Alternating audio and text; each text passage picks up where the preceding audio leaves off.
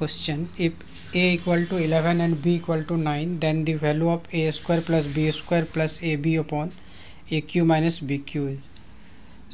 तो हेयर ए की वैल्यू 11 है और बी की 9 है. सो फाइंड करना हमें A square plus B square plus A B upon A Q minus B Q so equal to A square plus B square plus A B upon A Q minus B Q का formula होगा A minus B A square plus B square plus A B so, this part will be cancelled. So is equal to 1 upon a minus b अब a और B की value हम put करेंगे तो ये 11 minus nine so equal to one upon two answer